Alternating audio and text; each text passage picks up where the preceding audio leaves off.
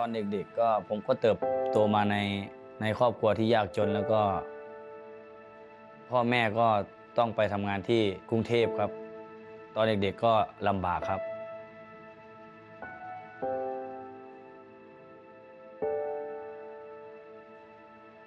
ก็ชีวิตตอนนั้นก็ลำบากแต่ก็ไม่เคยน้อยใจพ่อแม่ครับ เพราะว่าว่าพ่อแม่ก็พยายามดิ้นรนที่สุดแล้วว่า เข้ากรุงเทพไปหาตังค์เพื่อมาเลี้ยงดูครอบครัว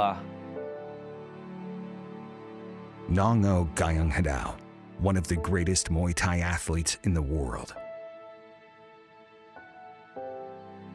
ใช่ครับ คือจุดเริ่มต้นก็คือข้างบ้านมีมีค่ายเล็กๆ ค่ายซ้อนเล็กๆ มีกระสอบ มีเป้าแค่อย่างละอัน ตอนผมเด็กๆ ผมก็เดินผ่าน ก็มีมีน้าคนหนึ่งเขาซ้อมมวย แล้วเขาก็เลยชวนว่าเอา้าเอ้ยไอ้หนูลองมาเตะกระสอบดูสิเตะเป้าดูสิว่า จะชอบไหมตอนตอนแรกผมก็ไม่ชอบ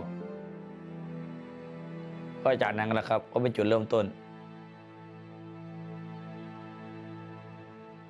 ตอนอายุ10ขวบก็ก็รู้สึกยากนะครับ ก็รู้สึกยากเพราะว่าเพราะเราไม่รู้อะไรเลยเพราะเราไม่รู้อะไรเกี่ยวกับมวย แต่ว่าแค่แค่ผมมีแค่มีใจสู้แค่นั้นครับ มีมีใจสู้อ่ามีเจ็บแล้วก็ไม่ยอมแพ้เจ็บแล้วก็เจ็บก็ไม่ร้องไห้ ก็อยากจะจะทำให้ดีแล้วก็ก็เลยตั้งใจครับ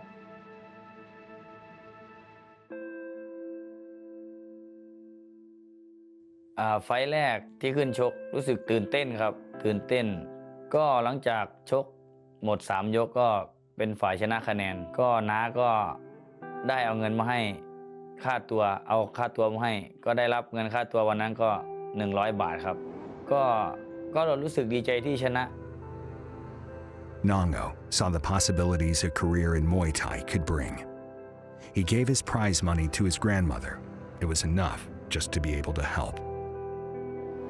หลังจาก ชกไปเรื่อยๆ ชกไปจังหวัดนั้นจังหวัดนี้ชกไปเรื่อยๆพอชกชนะบ่อยๆขึ้น บ่อยๆขึ้น มันก็เริ่มหาคู่ชกยาก ไม่ได้คิดว่าตัวเองจะเก่งมากมายอะไร ก็แค่หาคู่ชกยากประมาณนี้ครับ Nongo's achievements drew the attention of scouts who saw his potential and invited him to train and live in Bangkok. ก็ตอนอายุ 14 ก็ได้ย้ายเข้ามาอยู่ที่กรุงเทพมาอยู่ที่อ่า ค่ายมวยกอเกียรตินันตอนนั้นพ่อแม่ก็มาส่ง ตอนพ่อแม่กลับก็ก็ก็ร้องไห้ครับเพราะว่าเพราะว่าคนไม่เคยไม่เคยห่างพ่อห่างแม่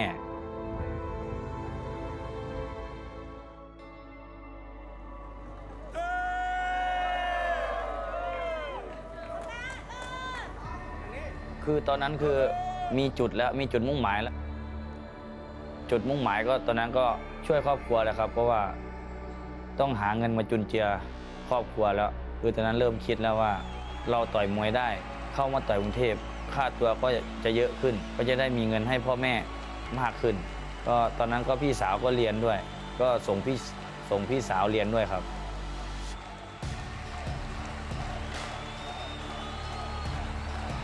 ผม ถ้าผมได้ให้อะไรคนอื่นหรือว่าทำอะไรให้เพื่อครอบครัวเนี่ย แล้วแค่แค่พ่อแม่เอ่ยคำว่าเออลูกเป็นลูกที่ดีนะ ลูกเป็นคนเก่งนะ แค่นี้ทุกอย่างมันมันโอเคครับ ทุกอย่างมันมันมันดีมากสำหรับผม the one Super Series Bantamweight Muay Thai World Champion, Noho Dayan. Always driven to help his family, Nong-O's motivation and hard work led him to become one of the greatest Muay Thai athletes in the world. He defends his one Bantamweight Muay Thai World Championship against shootboxing lightweight world champion Hiroaki Suzuki.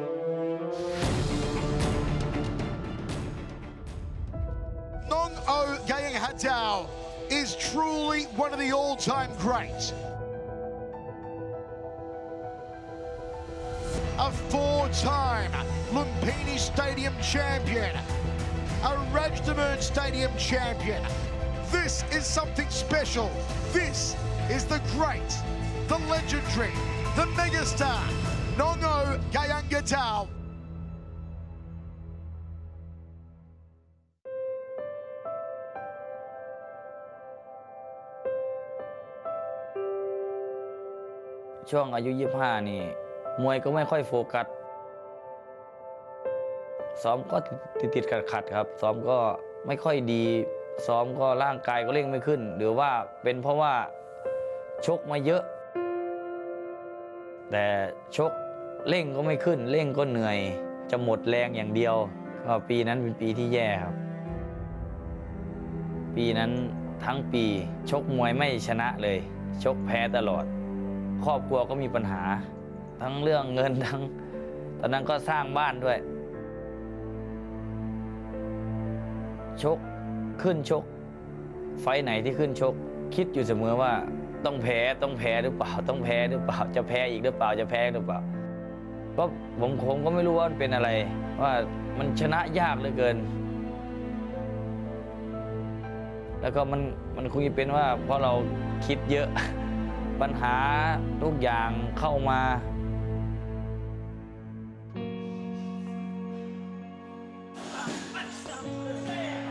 หลังจากที่ชีวิตผมตกต่ำจนแพ้จนจนจนจนรู้สึกท้อแต่ว่าก็มีครอบครัว มีพ่อแม่ให้กำลังใจ ญาติพี่น้องให้กำลังใจ จนสามารถกลับขึ้นมาได้ ก็จนมาถึงตอนนี้ก็มีครอบครัวมีลูก ลูกชายสองคน ก็ให้กำลังใจ สามารถกลับขึ้นมาเป็นแชมป์ได้อีกครั้ง แล้วก็ทุกสิ่งทุกอย่างที่ผมทำแต่ก่อนก็เพื่อครอบครัวมีความสุข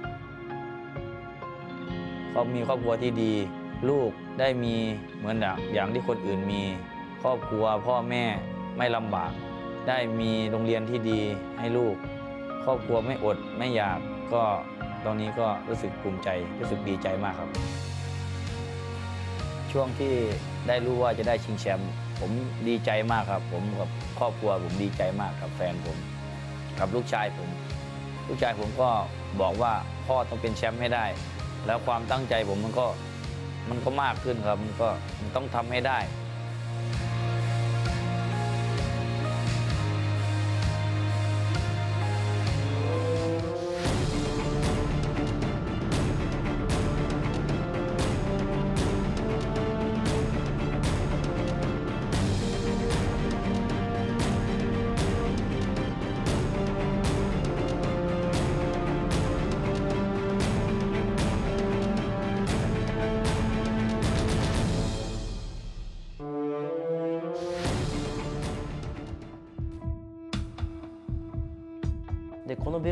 あの取ることにあの本当にそこに対してあの僕にとっての人生の意味があのそこにあります。このベルトを取って僕のこのマーシャルアーティストアーティストとしての、えー、なりわいこのアイデンティティがまた意味を成してきます。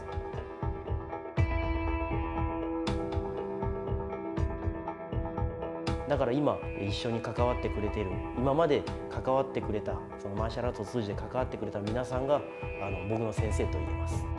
そうです。なので僕はあのどのどの年代の方ともマーシャルアーツを通じて伝えそしてそれが僕の先生としてやってきました。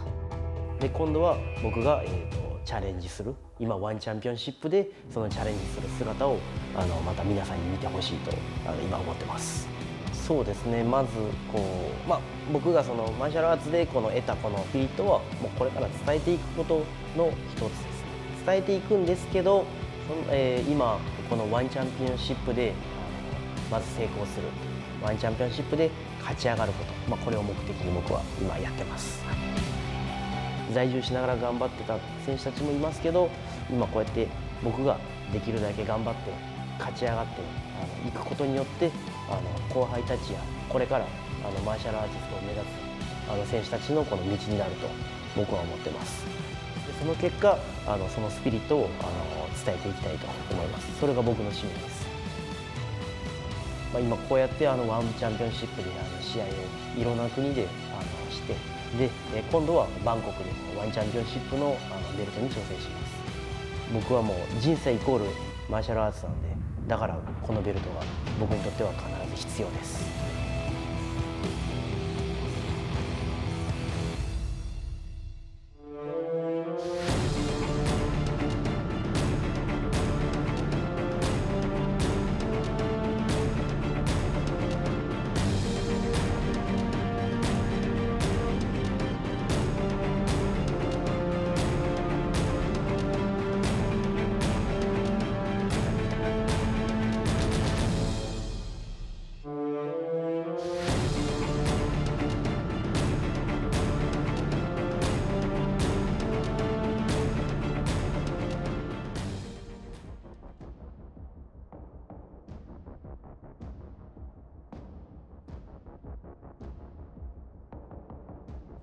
แรกที่ผมต่อยเลย ผมแพ้ครับ ก็ตื่นเต้นมากเลยครับ ครั้งแรก กระโดดเตะแบบยังไม่เป็นมวยครับ แล้วครั้งครั้งที่ชนะก็ต่อยประมาณครั้งที่6แล้วครับ ก็ดีใจมากเลยครับที่ต่อยชนะ เพราะว่าก่อนหน้านั้นแพ้มา 5-6 ไฟครับ ไม่คิดว่าจะชนะครับ ดีใจมากครับที่ชนะ ดีใจลงมาเนี่ยนอน กว่าจะหลับครับดีใจครับ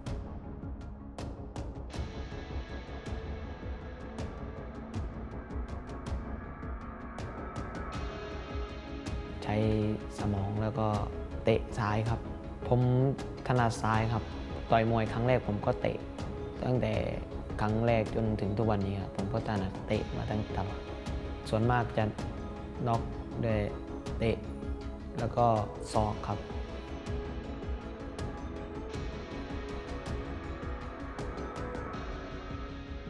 คือผมอยากได้แชมป์ของวันแชมเปี้ยนชิพมากครับ ไม่ใช่คือแชมป์วันแชมเปี้ยนชิพไม่ใช่แชมป์ระดับประเทศครับ คือเป็นแชมป์ระดับโลกครับ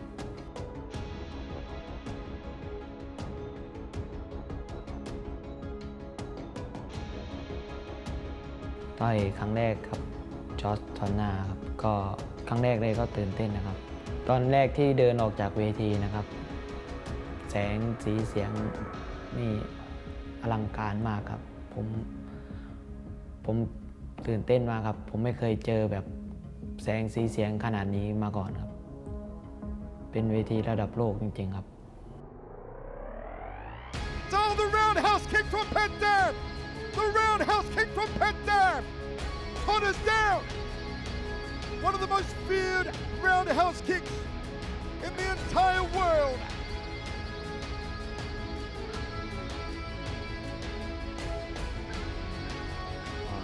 เริ่มตื่นเต้นน้อยลงครับครั้งที่สองแล้วก็เป็นเริ่มมั่นใจมากขึ้น เพราะว่าต่อยในประเทศไทย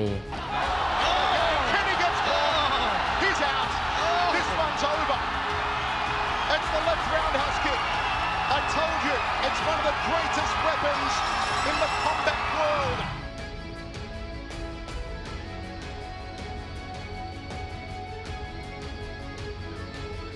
และดีใจมากที่ได้ชนะน็อกก็รู้สึกภูมิใจครับที่ได้เป็นตัวแทนของประเทศไทย ที่ได้ต่อยคิกบ็อกซิ่งในศึกวันแชมเปี้ยนชิพครับ จะทำให้เต็มที่ทุกไฟครับ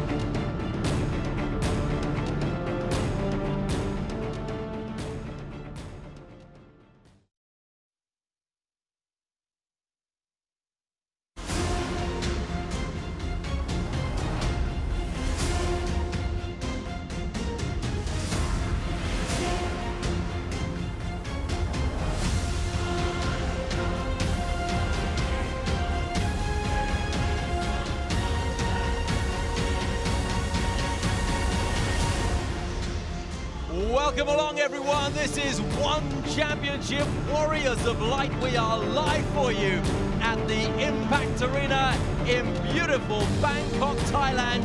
And what a night in store, including a couple of world title contests in our co-main event of the evening, the Flyweight Kickboxing World Championship between Pet Dam and Mahmoudi. And in that main event, the Bantamweight Muay Thai Championship sees Nong O take on Suzuki. Ahead of that, we've got five contests on our main card. Muay Thai, kickboxing, and mixed martial arts. Do take a look at that contest in the flyweight Muay Thai division between Rodtang and Sok Thy, two 21-year-olds with big strength and big ambition. Ahead of even that, five preliminary contests for you. The return of Janet Todd after her bout against Stamp Fairtex. She's involved in an atomweight kickboxing contest. And take a look at Pieter Buist, who amazingly fits that tall body of his into the lightweight division in mixed martial arts. Our first bout of the evening is mixed martial arts, and we are ready to go. Hexigetu against Ovais Shah, China against Pakistan.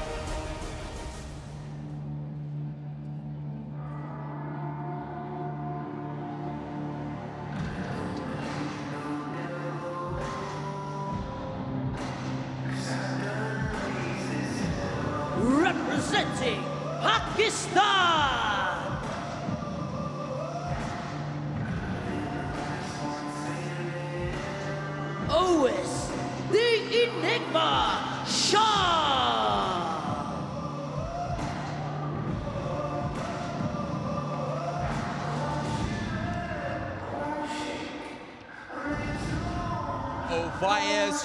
From Pakistan, 30 years old, has a 3 and 2 mixed martial arts record, but he also has professional records in kickboxing 15 and 3, boxing 2 and 0, taekwondo 6 and 0, wrestling 4 and 1. In all combat sports, Mitch Chilson, he is 30 and 6.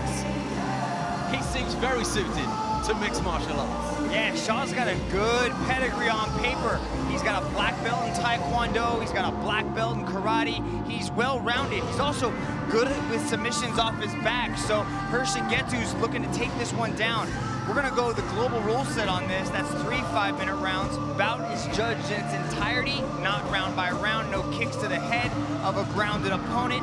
No spiking or suplexing on the head, neck, or spine. Ovais Shah is a very eccentric striker. He likes to spin. So look for Ovais Shah to set up the spinning attacks. He's got knockouts by spinning back fists. He's got spinning heel kicks. He likes to take flight. So be very close attention, but he's got to be careful because if he gives up his back, Hexigetu's going to jump all over him. He's also got a master's in business administration.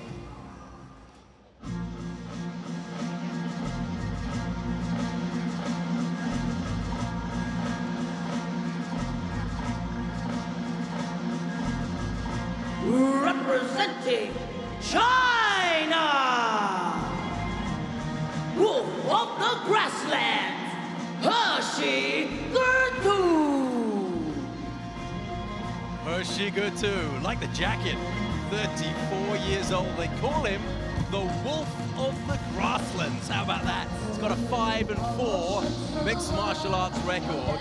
80% of his wins, four out of five, have come via submission.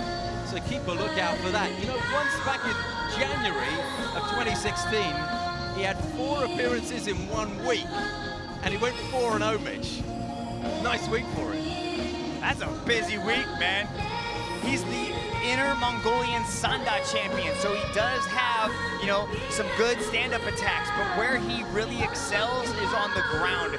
He loves to manhandle people. He wants to close that distance, get in tight to his opponents, and look for big takedowns. And once he gets on top of you, has a very heavy top game. He looks to drop heavy ground and pound and really just control all aspects of this match. He doesn't want to give Shah a lot of space to set up a lot of those spinning attacks. So look for Hexigetu to get really close, shut down that distance of Shah, and try to take him down and work the ground and pound, because that's really where Hexigetu excels, Steve.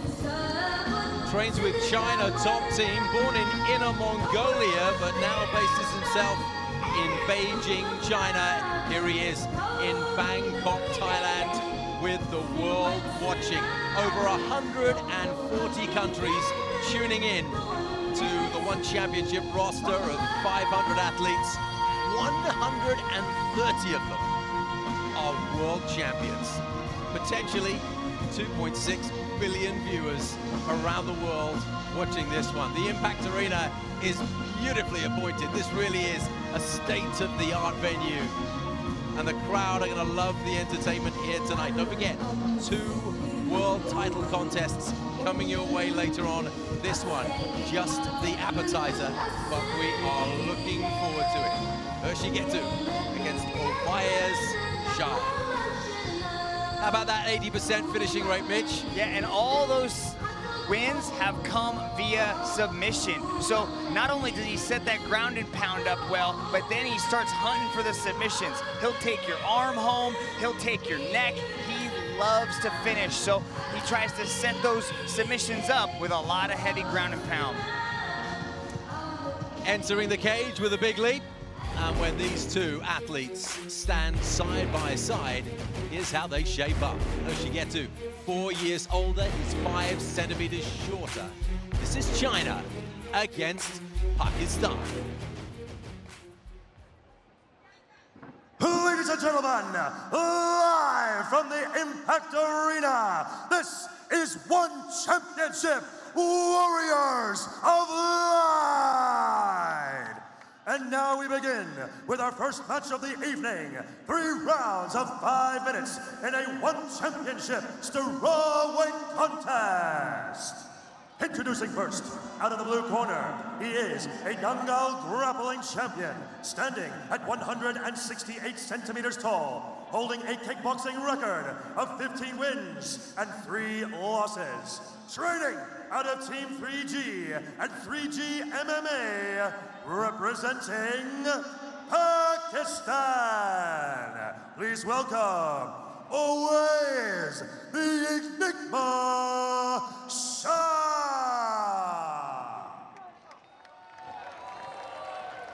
And now, introducing his opponent out of the red corner, he is a CMSL champion, standing at 163 centimeters tall, training out of China Top Team, representing China. Give it up for the Wolf of the Grasslands, Hussy Gertu.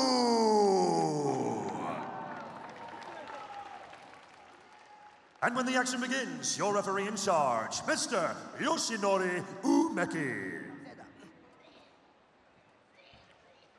Okay, no back to the head, okay? Please make it fair. Touch Our opening contest of the evening here, Bangkok, Thailand.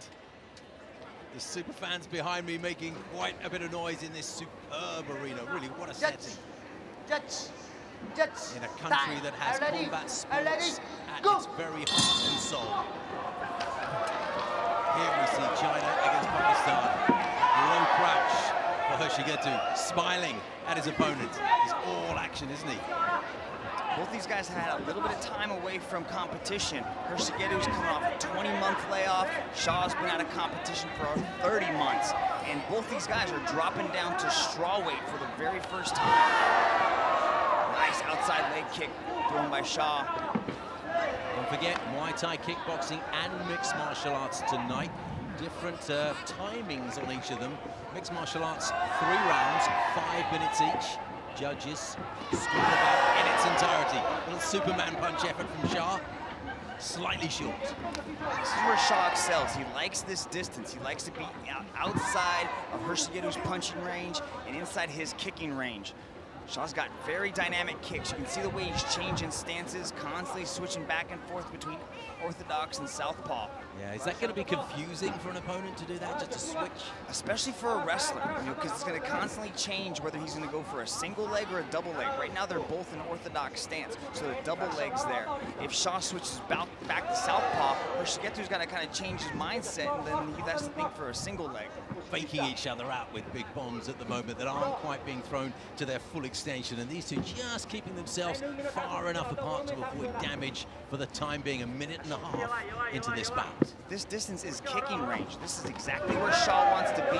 Hexigetu's got to find a way to close that distance and get inside his punching range. Looking for that right left just now, Hexigetu.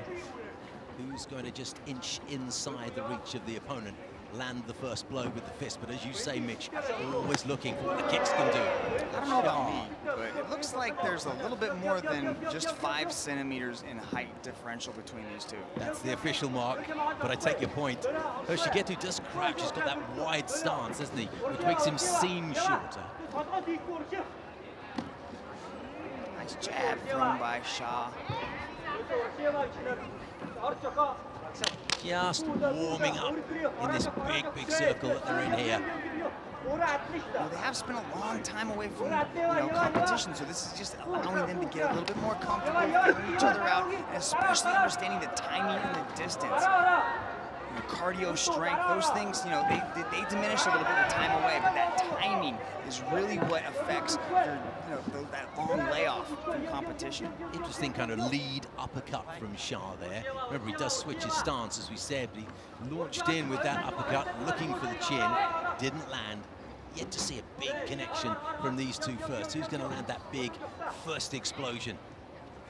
Stop that! Changing levels, Hexigetu. And our referee, Yoshinori Umeki, is asking for more action. And that is predictable, Mitch, based on the first three minutes that we've seen so far. Yeah, he just wants to get a little bit more action going on between these two, just giving them a nudge in the right direction, making sure they're uh, definitely trying to finish the competition here. And really a, a, formal warning there, not just a call for action, but an actual stoppage of the clock there by the referee, just to make the signposting as clear as he possibly can. And as ordered, straight into action, Mitch. You can see the difference between the way that Shah throws his leg kicks and Shigetu throws his leg kicks. You can see that uh, Shah has a noticeable impact on the legs of Hexigetu. You can see him actually physically move. The, the, leg kicks landed by Hexigetu aren't really phasing Shah too much. Those are some long legs for the strawweight division, and Shah, when he extends those, Hexigetu is on his bike trying to get out of range. Oh, left hand from Shah as Hexigetu was coming in, and he got caught. You can see the way that uh, Hexigetu has to close that distance. He almost has to leap in to get inside so he can start throwing those hands. It's lovely to hear this Bangkok crowd yelling with every blow, just as they do in Muay Thai. There it is. Hope you can hear it at. That takedown, so he was in the southpaw stance, so Hexigetu had to attack that single leg. I like how he threw the overhand, went down there, was able to get that single leg, turn the corner, and put Shah on his back. Now, Shah's real tricky off his back. He does have good submissions. He's got a good triangle, and he's also got a really tight armbar as well. You can see the, how the feet go onto the hips, and he immediately starts working into open guard, and he starts swiveling his hips from left to right. Now he throws, you see how he put his leg up there high onto the back of Hexigetu and he grabs with his left hand. It's kind of, it's like it's modified rubber guard, a little bit high, needs to get pulled up a little bit tighter just so he has a better control of the posture of Hexigetu. This is where Hexigetu would like the contest to be, Mitch, isn't it? Yeah, this is where he really excels. He's just got a heavy top game. He's incredibly strong, especially at this weight, at straw weight. So look for him just to kind of pin Shah into the cage, into the circle fence right there, and just start throwing those hands. Running out of time to do anything significant now, Hexigetu. The bell for the end of the first round has been rung. He helps his opponent to his feet you'll see an awful lot of good sportsmanship during the course of this evening if you haven't watched much One Championship before. See, look at those leg kicks. Those actually are moving Hexigetu. He's throwing those leg kicks. They're landing. See, not a lot of effect thrown by Hexigetu's leg kicks, but then when Shah answers back, you can see the way that Hexigetu is physically moved by those leg kicks. And it's, I don't know if he's exaggerating a little bit, trying to ride the leg kick so that it doesn't impact so much, but it's definitely showing to the judges that those leg kicks are landing with some force. Good way for Hexigetu to get to to end the round with securing that takedown, ending up on top, and then dropping a little bit of ground and pound, but the striking superiority definitely went to Shah in that first stanza. Yeah, that's where the Chinese athlete wants this contest to be. Remember, four of his five wins have come by submission. The other victory was a decision. So he hasn't stopped anyone with strikes just yet. Close quarters is where he would like things to be. Most likely, down on the mat. And Hexigetu had a lot more success on the ground than he did standing up. So I would think that in the beginning stages of this second round, Hexigetu's probably going to shoot in for another one of those single legs, but that depends on the stance of Shah. Hexigetu circling, Shah holding the center of the circle for now. Just stalking with that open hand right lead.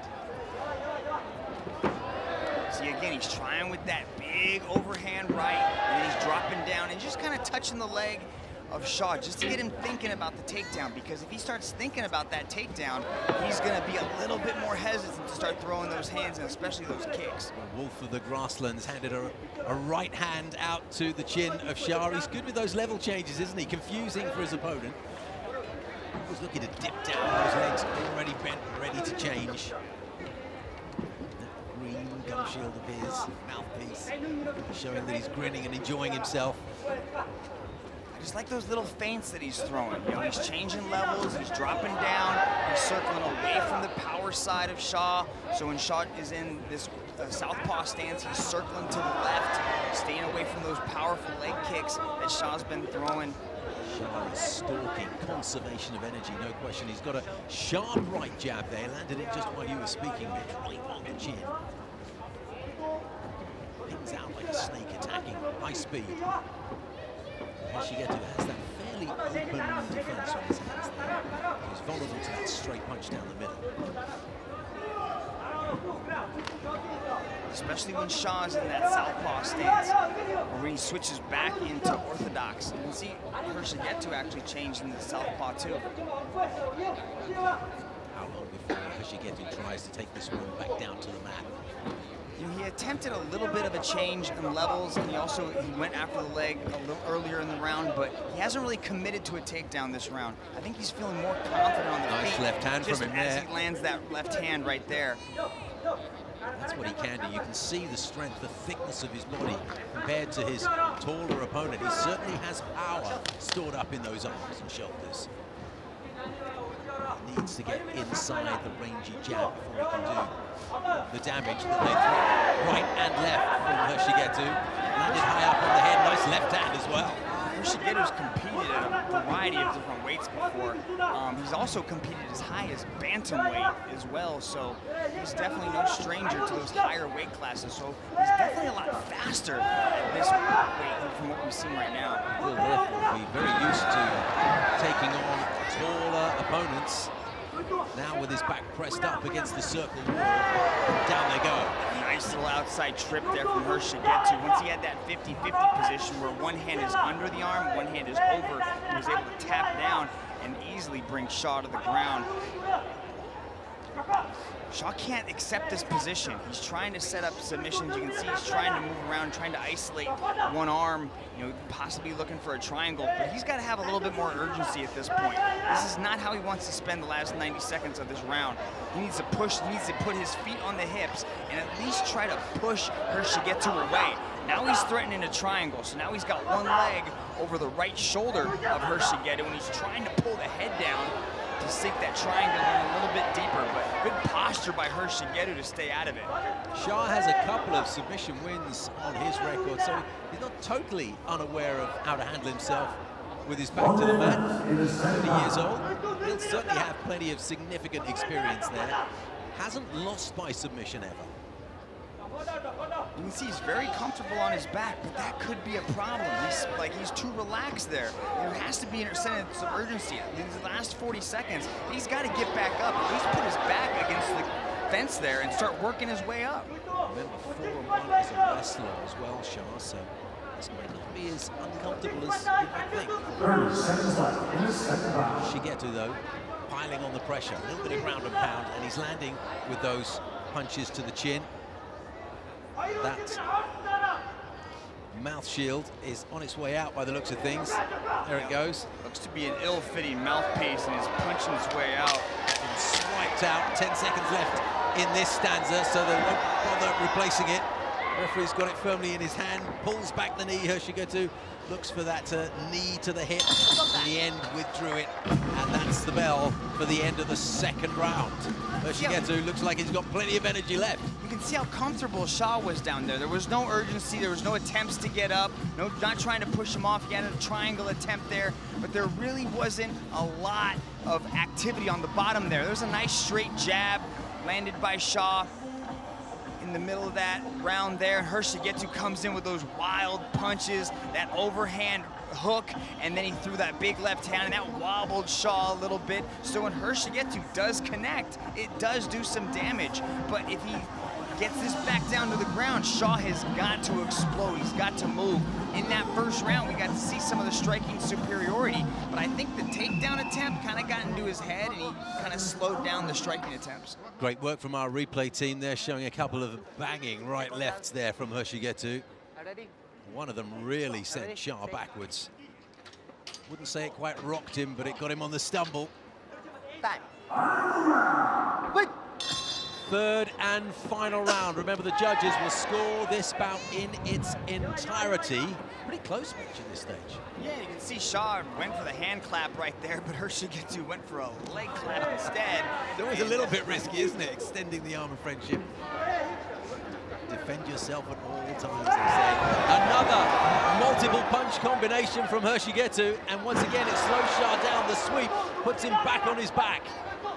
Nice this time much earlier in the round than we've seen so far. Because that's where he had the success at the end of both of the rounds. At the end of the first, and then there at the second as well. He's able to control so much more of the action once he's on top.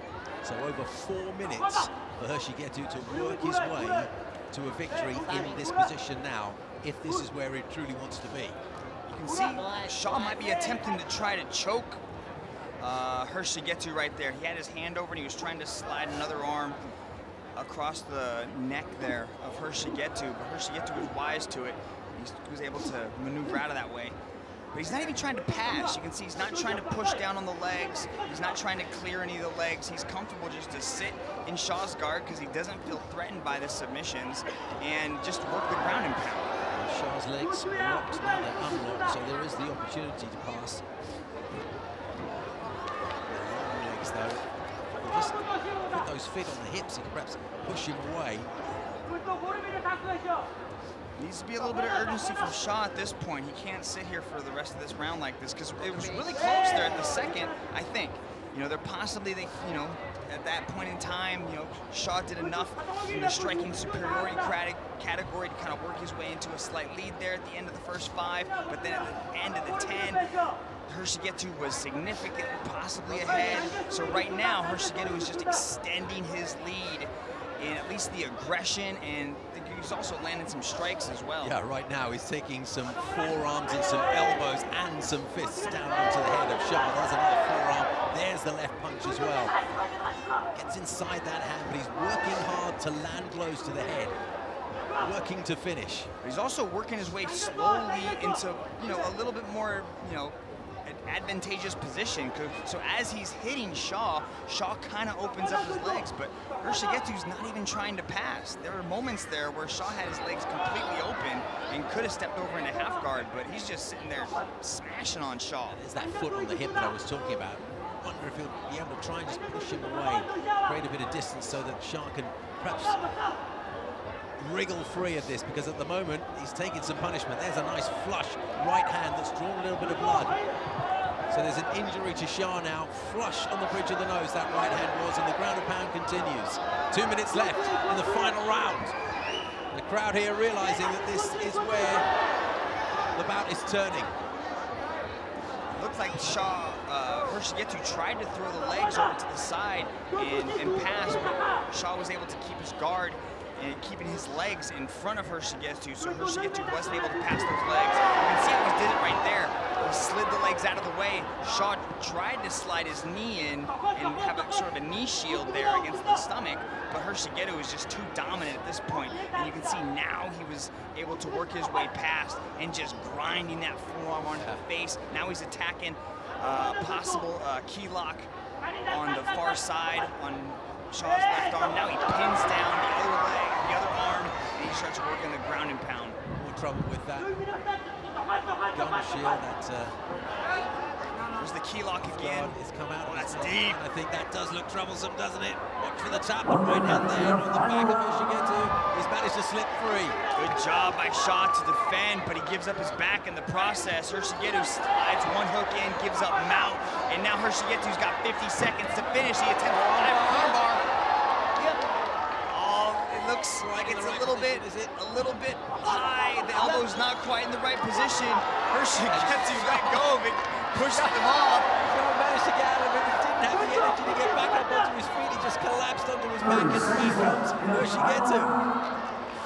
Inside the last half minute of this contest, and it's all Hexigetu now.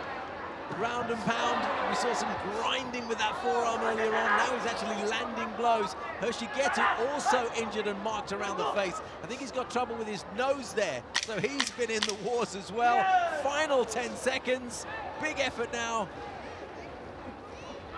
at least from Hexigetu. In terms of Shah, it's all he can just do to survive, I think. There it is, 15 minutes of furious action to open the evening here in the Impact Arena in Bangkok, Thailand. And it's the cornerman of Hexigetu who has the bigger smile on his face. We'll take a look at some of the action from that final round, Mitch. It was pretty involved, wasn't it? Yeah, look how he leaps in, throwing those hands, lands the left, right, left. Here he was able to secure the takedown, and then once he got on top, check out the way he spins for the armbar. Spins for the armbar, gets nice and deep. He's trying to finish, arm's not quite in the right position. Hexigetu realizes he doesn't have, quite have the submission, kicks off, ends up in mount, continues to let the ground and pound fly. Hexigetu looks good at strawweight, Steve.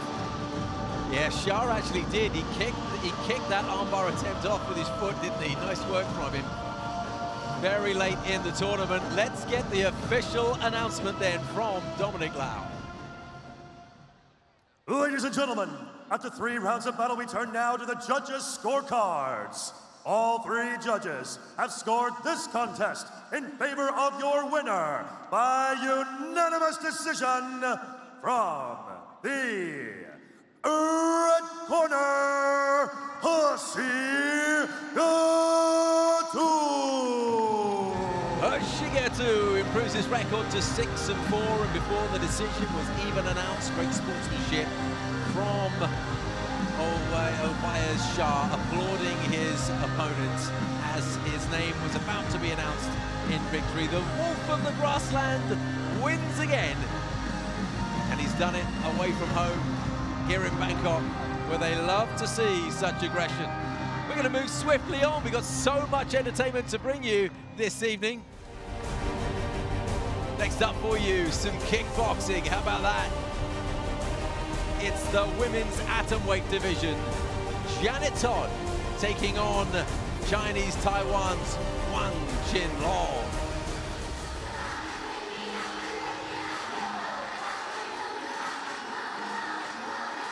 Representing Chinese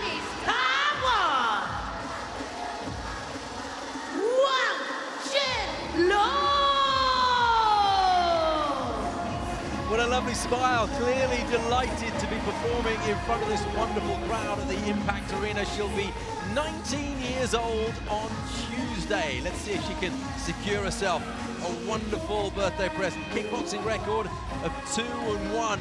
She and her younger sister joined the school boxing team after saving money to buy equipment like gloves and hand wraps.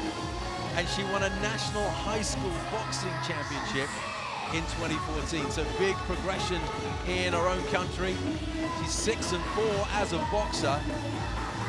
She makes her one debut here, 15 years younger than her opponent. Yeah, she's definitely got youth on her side.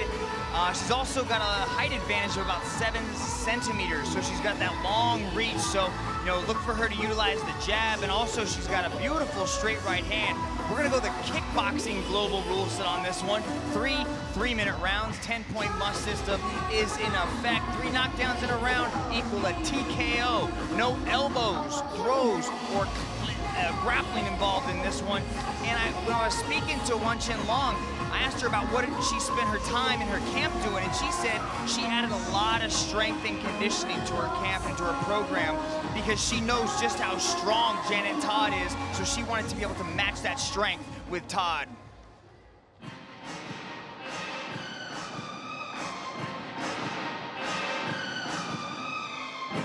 Representing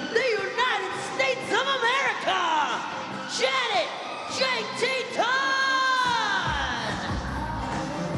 Another big smile and all action. So delighted to be performing in front of these Thai fans out of Los Angeles, California. 33 years old. She's having fun, isn't she? She was very relaxed this morning, cracking jokes at breakfast. Janet Todd is an aerospace engineer, multifaceted personality. Muay Thai record of 32 and 11. We talked about how her opponent has youth on her side, but Janet Todd has the benefit of experience. Her opponent, three professional bouts. Janet Todd, 43. Yeah, Steve, and with that experience comes a lot of confidence. She's been in pressure cooker situations. Back in February of this year, she went to a unanimous decision loss against Stamp Fairtex, but she had moments of brilliance inside that title tilt. And I asked her about it, and I was talking to her about, you know, what led, what we think was the key to some of those moments of shine?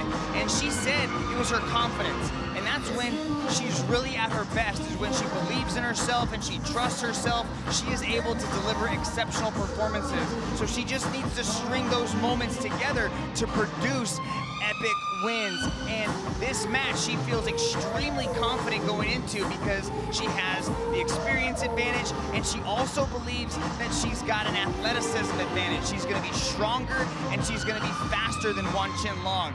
And but we're also taking away her biggest weapon. She loves the elbows, so those are gone. So, you know, look for Janet Todd to utilize the boxing. She's gonna try to create chaos. She's gonna try to get in tight, utilize the hands, exit. She cuts beautiful angles. She's constantly circling left and right. And that's how she wins a lot of these matches, is by just outworking people inside the circle. When she made her one debut and lost to Stamp Fairtex, as you mentioned, Mitch, it was her first time wearing four-ounce gloves. Different scenario for her today. And you figure she's more at home with these. First time in the circle as well, so she's got different dimensions to worry about. So it'll be interesting to watch this match unfold and see how she handles it. Two wonderful athletes, two big smiles. They're going to enjoy this one. Kickboxing coming up for you. 33 years old Janet Todd, 15 years older than her opponent. Wang Chin Long is seven centimeters taller. This is the United States against China. And now, this next match is three rounds of three minutes in a one Super Series atomweight kickboxing contest. Introducing first, out of the blue corner, she is a WAKO 52 kilo champion, standing at 167 centimeters tall, training out of Iron Boxing Gym, representing Chinese Taiwan. Presenting to you, Wang Chin Long.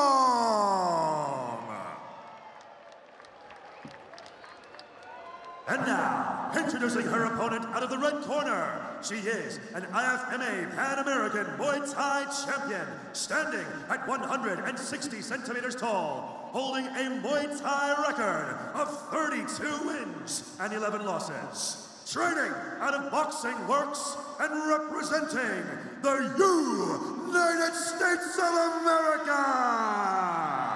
Put your hands together for Janet JT Todd.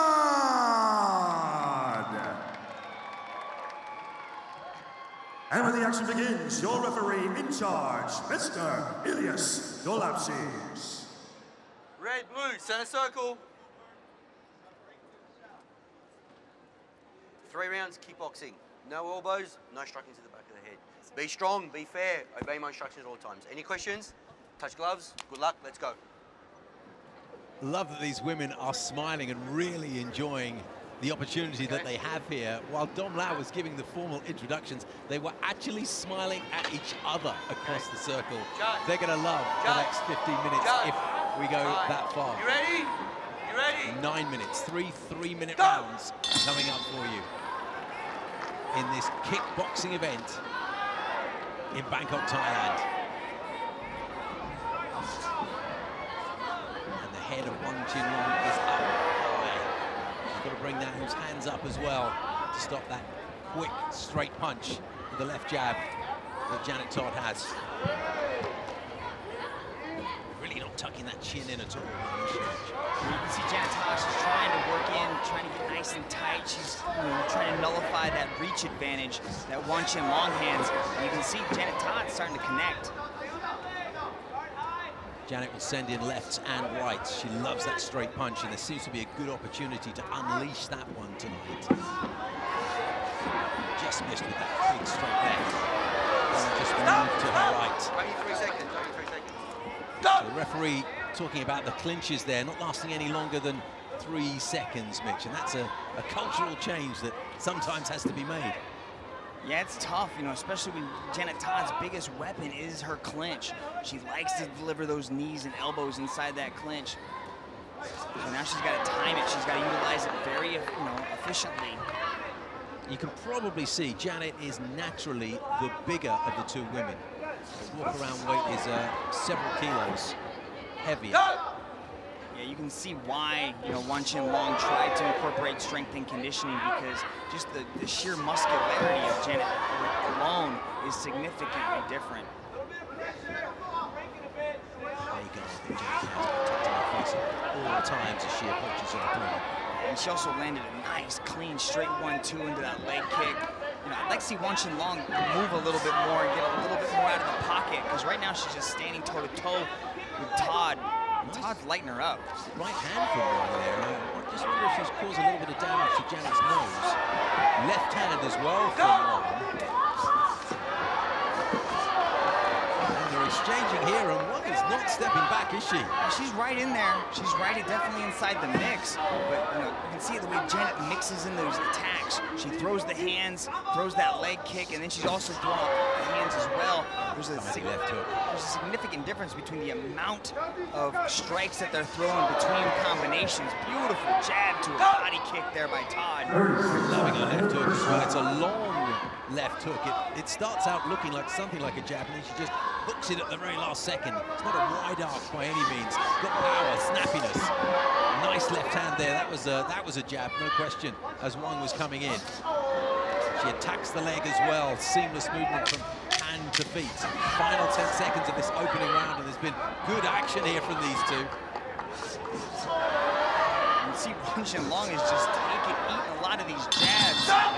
Left jab, right kick, left, right, right kick. Janet Todd working very, very hard. Good three minutes, that one from Janet Todd.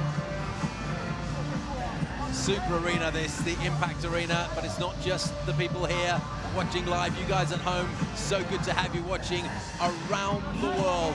B/R Live in the USA, right around Asia. Hello to our friends in Singapore watching on Toggle, Channel 5, Malaysia, India, the Philippines, Japan, Myanmar, Thailand, and so many more. Over 140 countries around the world, potentially 2.6 billion viewers. Welcome to the party, everyone. Big, big night in store. What do you make of that first round, Mitch? Yeah, that first round was uh, one-way traffic there for Todd. She was able to utilize that one-two with those leg kicks and then go right back into the hands as well. Wong did have some success there with the with her straight right hand, but also she was able to land a little Okay. bit as far as Ready? the push kicks are. Ready? But she's standing right in the range of Todd. She's got to circle out or at least start moving her head a little bit. Got a good shot of a clear face, no marks. One chin on whatsoever. So now she's starting to move around a little bit. Of her face, though. Janet Todd means business. But so far, even though she's landed some good solid punches, there's no sign that Wang is backing off here or hurt in any significant way. This is what Todd said she wants to do. She said she wanted to attack the body, attack the legs, and then at, when we start seeing the later minutes of the second round and into the third round, look for Janet Todd to start wrapping that shin around the neck of Wong as she starts to go headhunting. Nice. Janet's legs going into overdrive in this round, particularly the left leg. She's bringing it up high. She's taking it to the legs as well. There's another one around the chin area, using her right leg this time. Wong under attack, but she comes forward as she has done this entire contest. There's just no backing off from this woman. She's definitely trying to make it a contest. You can see her throwing out those push kicks, but there's not anything disguising those push kicks. She's just kind of flailing her legs out, and Todd's just parrying them away, moving, st- sidestepping, and then throwing those hands into that leg kick. Good hands from Todd. One is just about getting her gloves in the way when those kicks come up to the head. But her punches don't have anything like the crispness or the heaviness, certainly not the heaviness that Todd's do. And There's another example of how she just gets that glove in the way of the kick. Good thing too, because you don't want to get kicked in the head by Janet Todd. But you can see that's why she's starting to, you know, raise the height of her kicks. She's starting to go after that head. You can see that left hand is slowly starting to drop to protect her body. Maybe she might even start reaching for some of these leg kicks because they're going to start to pay dividends later in the match. It just kind of builds up that equity, money in the bank that she can, you know, slow down long later. Beautiful hook to And one's gone down, and the referee will take a good look at that. She's very game to get back up. For a moment there, I thought she'd probably had enough, but she's back up, and everything we've seen about Wang Chin Long tells us that she's game enough to go as far as she possibly can. There's just no backing down on this woman. Todd dropped leg kicks, hook, leg kick, hook, leg kick, Wong. Oh, and she starts wrapping it around the head, goes shin to chin. Right. Janet was good enough to stop there. She saw that her six, opponent was in some trouble. eight, And I wonder if yep, we're looking at the final moments of this contest. Is there enough time? Wong's in the gotta second move. round for Janet to do the business. She's got less than 10 seconds. She'll have to really go some now. Is Wong going to survive and get a minute's respite? Wong's got to move, and she Three over, Mitch. There must have been less than a couple of seconds left. Leg kick, Steve. Leg Punishing, weren't kicks. Punishing times. In a little bit of distress on the ground there. It's just pain in the legs. They came in a big flurry in the final minute and a half of that round.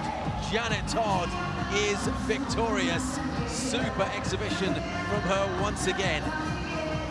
The 33-year-old takes on the junior and shows her how it's done. In the end, Mitch, it was about power, wasn't it? Yeah, and they were just building up. You could see her accuracy was pinpoint. She was hitting the same spot on that leg. And now you can start to see the leg of Wang Chin Long, and it's starting to bruise. So you can see that she just landed over and over. Let's take a look how Todd got it done. And it came with just the beauty of the leg kick, chopping down the tree. Goes to the hook, goes to the leg kick, goes back to the hook, drops her with the leg kick. Then she goes shin to chin. And Wang Chin Long goes, oh, that's enough. I do not want any more of Janet Todd. And then the leg kick got it done. Well, look how despondent she is. The official decision is coming, though. Dom Lau. Ladies and gentlemen, your referee, Mr. Ilias Dolopsis, has called a stop to this contest after 2 minutes and 59 seconds in the second round for your winner by way of technical knockout, Janet Todd! Worth the trip halfway around the world, wasn't it? Los Angeles, California has a winner, Janet Todd, with an exhibition of punching and kicking. Well, what a brave woman Chinese Taiwan's Wang Jinlong was. She just about had enough. And our winner, Janet Todd, has got yet another great big smile on her face. And how about that? We always see this. Two friends for life, I would say. The Impact Arena has seen a couple of very entertaining bouts already, and we have got more to come. We return to mixed martial arts, and this one's a good one. Lightweight, Kota Shimoishi against, from the Netherlands, Pieter Buist.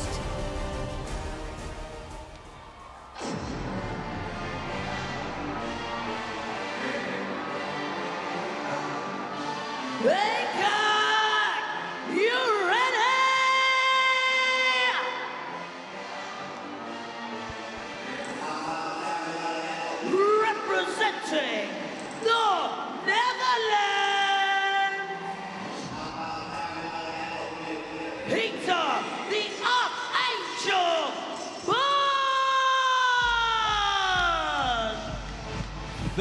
Years old. Just look at the height of this man. Remember, he's fitting all of that into the lightweight division. He's 20 centimeters taller than his opponent today. 31 years old. He's a WFL world champion. In mixed martial arts, he's got a 14 and 4 record. But he also has a 45 and 10 judo record, an 86 and 12 Muay Thai record with 18 KOs. We are seeing another true mixed martial artist here, Mitch. The Archangel, Pieter Buist, is a legit stand-up and grappler. He's got a very good skill set. We're going to global rule set on this one. We're going to go three five-minute rounds, bout judged in its entirety, not round by round. Buist is a slick Dutch kickboxer. He's got a very smooth stand-up style, but he's also legit on the ground. He can submit you from a variety of positions. He's got a really good team out there in the Netherlands. He gets to train. He has the honor of training with Gegard Mousasi, who invited him to his house to train at his home gym. This is going to be a good one. Pieter Buist from the Netherlands.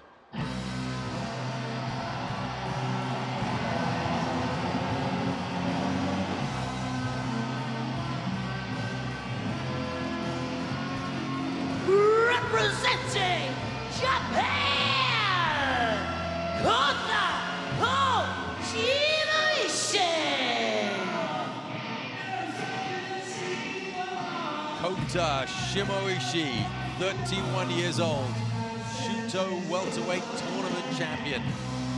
Judo black belt, 21 and 7 as a mixed martial artist. He can go the distance. 48% of his wins have come via the judge's decision. Loves Thai food, he says. Big opportunity for him to have reason to celebrate with a nice Thai dish later on this Friday night. Well, he's definitely in the right place for Thai food, but uh, Kota Shimoishi is a grinder. He's got a judo black belt, and he likes to get on top of people and just smother them. He has a very heavy top game, and he utilizes his judo very effectively. Buist also has judo experience, so look for Buist to use his judo more defensively to keep the match on the feet, and Shimoishi wants to use his judo more aggressively. He wants to get out of the striking range of Buist. You can see Buist at 20 centimeters taller than Shimoishi. There's a huge height differential that Shimoishi has to overcome first. He has to get in tight. He has to get into his boxing range. He wants to throw those hands, and then he wants to take Buist down and smother him, shut down those beautiful strikes that Buist is known for and really just get on top and control all aspects of this match because if you start to give Buist range and comfortability, he gonna light you up, Steve. Lightweight division, Shinya Aoki is your world champion. These two will be looking towards him. Both of them 31 years old. That big 20 centimeter difference gives Buist a big height advantage. Japan against the Netherlands. Ladies and gentlemen, this match is three rounds of five minutes in a one championship lightweight contest. Introducing first, out of the blue corner, he is a WFL World Champion, standing at 190 centimeters tall, holding a mixed martial arts record of 14 wins and 4 losses. Training out of Team Souwer and Combat Brothers, representing the Netherlands. Give it up for Pieter, the Archangel Buist.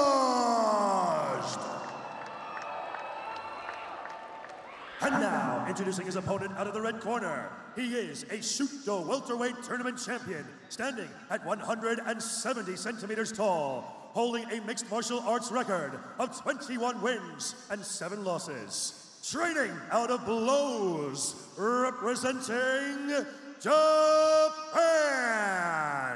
he is Kota Koshimoishi. And when the action begins, your referee in charge, Mr. Yoshinori Umeki. Sit up. Head batting, not a groin, not a back head, head, okay? Touch grab. Stay corner.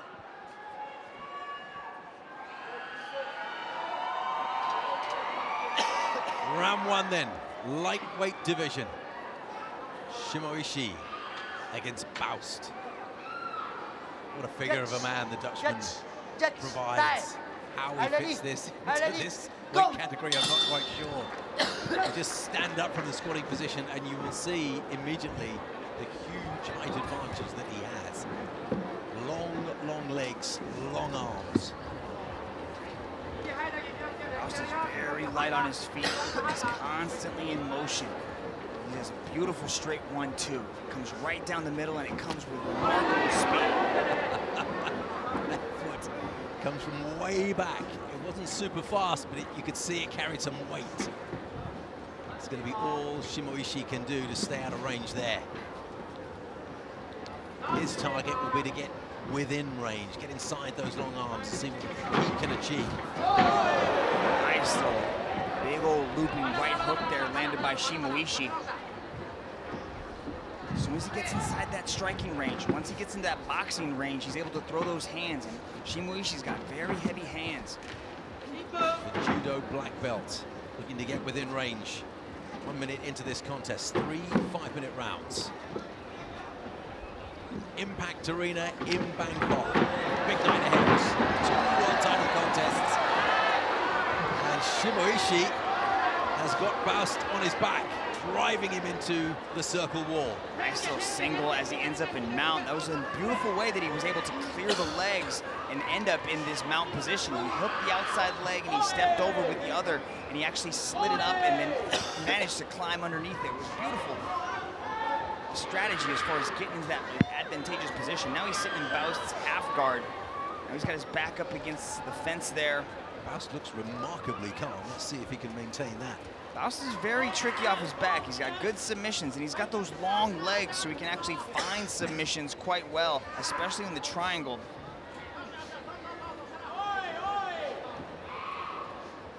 Head pushed up against the circle wall. Still looks very calm. That left hand over the neck of his opponent. Just bringing him close, keeping him nice and tight. Good work with the left hand, though, from Shimoishi. Japanese man just working to try and improve position. Using the right hand now to dig into the side of the Dutchman. I see Buist trying to scoot over onto his side, but Shimoishi is keeping that underhook on his right side. So Buist is not able to get the underhook on his left arm so he can start moving away and creating a little bit of space. Shimoishi's just got such a heavy top game. He's always in control. Just shutting down everything Buist is trying to do. Now he's trying to pass over into mount. Easily steps over into mount. That long body, is it tougher on the back pitch to try and manipulate positions when you're so much rangier than your opponent? Here we go. It's often said that when you know, you're on the ground, that height advantage kind of gets nullified, and Shimoishi does a beautiful job of stepping over into the back position. Now he's got the back, now he's got the seatbelt. Nice little escape there. Now he's trying to work that rear naked choke. Good job by Buist to get it off of him. And she, he's got good scrambling. You can Good see how Buist too. is constantly moving. You know, he's able to roll now into half guard. So he's pretty tricky off his back just as far as maneuvering and giving up batter po- worse positions to get into better ones. It's kind of ragdoll Buist for a moment there, showing very good strength. This is where Shimoishi excels. He does a good job of controlling the top position. Forcing that head into the Dutchman's face. There's no headbutt there, but he's trying to control position by just pressing his head down there. If you control the Dutchman's head, there's uh, a lot less that Buist can do about his positioning. She might be looking for an arm triangle there. Good job by Buist to hip bump and reverse out. And He's got the throat, that left arm around the throat. Possible guillotine here from Buist. He's got that hand, the forearm right there on his left side, underneath the arm, underneath the chin. Looked it up with his arm as well. Slips out of it. Good job by Shimoishi to clear that arm. Shimoishi seems to be slightly marked just above and to the right of his right eye. Doesn't look like anything serious at all. Just a graze, really. Good trip from Shimoishi right there as Buist was trying to swing his arm in. Shimoishi went for the trip. Inside the final half minute. Can he do with this body lock here in the last 20 seconds? He might choose to take him over to the left side. You see him trying to step in with the leg there. Yep, there he goes, turns the corner. Just real heavy in that body lock takedown attempt. Buist trying to swim in, trying to take his arm, shove it in between the, the arms there of Shimoishi. Even in this stand-up position, Shimoishi trying to control Buist's head with his own. And that was uh, a five minutes that Buist salutes with a little puff out of his cheeks there because that was hard work for him for the bulk of that five. This is where he likes to be, Mitch, in this position, but it didn't work out too well for him from there on. Yeah, he was able to catch the leg kick and just drive in, just fully committed to the takedown. And then once he got it on to, to the ground, Shimoishi had a lot of success, you know, with the ground and pound advancing position. It was ground control because he's able to advance his position. He's not just sitting in the guard and trying to soften up Buist. He's actually advancing his position. He transitioned from side mount into mount. He was, you know, Buist was able to be, you know, get back into, you know, half guard a couple of times, but Shimoishi was just the more effective grappler in a lot of those exchanges. So good job by Shimoishi to score some heavy ground control in that first round.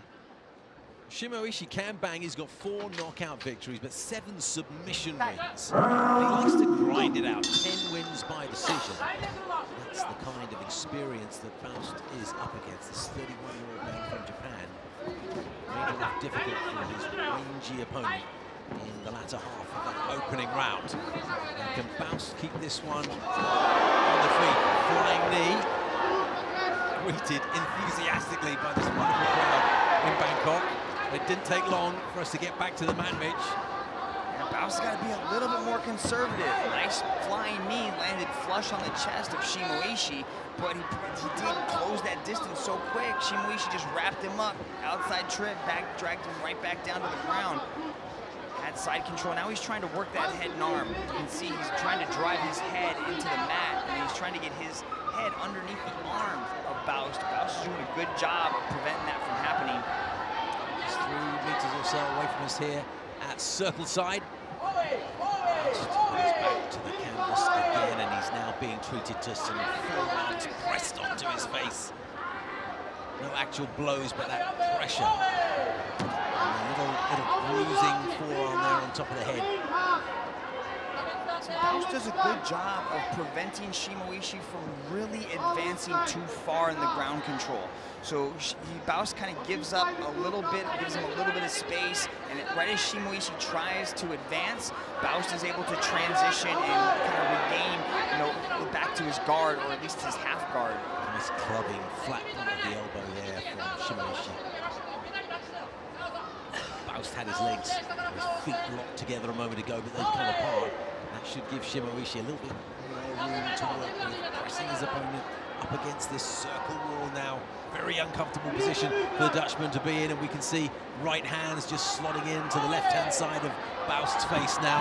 Nothing hard, but point scoring for sure. Is trying to control the right arm of Shimoishi, so he's trying to shove it down between his legs so he can take his left leg and shoot it up across the back of Shimoishi, possibly looking for a triangle. But Shimoishi is wise to it. And see how he, like you mentioned earlier, how he's controlling with his head. He's always driving his head into the chest or the underneath the chin of Buist, and that prevents a lot of Buist's movement. We're reaching the halfway stage of this contest, and Pieter Buist is finding himself in a situation where he's finding it difficult to impress the judges. Just being dictated to by this man from Japan. Once again, the weight of the forearms come down on the Dutchman's forehead. Working with the fist as well. It's getting tiring for the Dutchman. See, possibly looking for a Kimura on the right side of Shimoishi. He's doing a good job of avoiding any major damage from Shimoishi. Buist is very defensive. He's able to block a lot of the oncoming ground and pound delivered by uh, Shimoishi. He's always looking for submissions, you know, right? He's looking for Kimuras, he's looking for triangles, but Shimoishi's just got too heavy of a top game. You're right, there's been nothing significant has there, in this position, but... Now he's got the hand. See how he's the, he has the left hand of Buist trapped behind his arm there momentarily, kind of in a handcuff position. See the on Buist's face.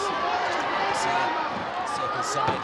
The knee comes in from Shimoishi, just fell short, and they're up on the feet again. it's Big flying knee, but comes back with a left and right. Shimoishi, good response. He's down looking for the takedown again, but they're back up on their feet. A right hand from Buist. Things are turning around. Three knees to the head. The referee steps in, and that is quite a comeback victory from the Dutchman, who climbs to the top of the circle and takes the plaudits of this crowd here in Thailand. What a turnaround, Mitch. Pieter Buist can change the course of a match in an instant. And that's exactly what he did. Shimoishi was dominating him in that whole second round right there. But just a moment, one minor mistake was all Buist needed. Check this out, right there. Shimoishi was going for the takedown. Buist goes up top, throws the kick, and lands a beautiful straight right hand. And then he goes after the knees, lands two beautiful knees, and the referee, three beautiful knees, and the referee was forced to jump in. Welcome to One Championship, Pieter Buist. 15 and 4 is his now improved record when that opportunity presented itself after really having been under the cosh for the greater part of this battle. He really jumped on it, didn't he? Here's Dom Lau. Ladies and gentlemen, your referee, Mr. Yoshinori Umeki, has called a stop to this contest after 3 minutes and 55 seconds in the second round for your winner by way of knockout, Pieter!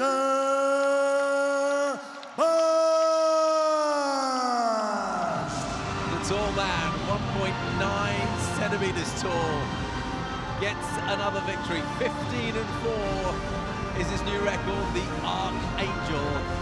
there he is with a big smile on his face, and that's the W that he's been looking for. Wonderful stuff. It's a great effort, wasn't it, from his opponent?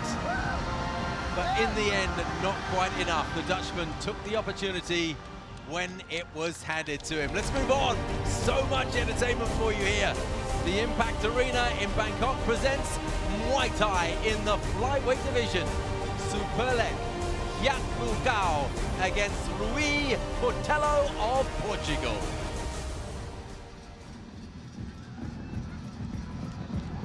Here, representing Portugal, Rui Botelho.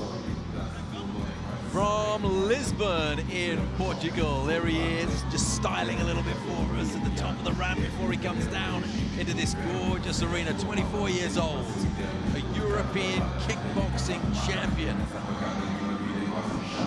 His first win in One Super Series came in March. It was a dominant decision victory over Japanese Muay Thai champion Yuta Watanabe. And here he is again, looking to stay on that roll. Facing a Thai superstar, though, in his home country, this is a big challenge. Three three-minute rounds for this one, the 10-point must system in effect. Three knockdowns in a round means a technical knockout. No throws, no grappling allowed. Looking forward to this one, Mitch. Yeah, Rui Botelho for this one, he actually spent three weeks in Bangkok training at Sanchez Gym, and so he got to, you know, really up the level of his training camp, and then he went back to Portugal, put in some good work there. He says the key to his success in this match and taking on a superstar like Superlek is, it's going to be the hands. He's got to close the distance, stay away from that right hand, and throw those punches. Rui Botelho of Portugal. Representing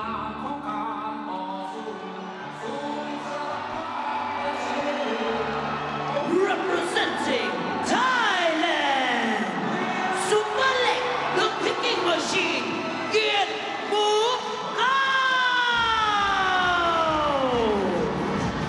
This Impact Arena just lit up. When this man's name was announced, he's only 23 years old from Buriram in Thailand. He is a two-time Lumpini Muay Thai World Champion. He is the WBC Muay Thai Super Featherweight World Champion.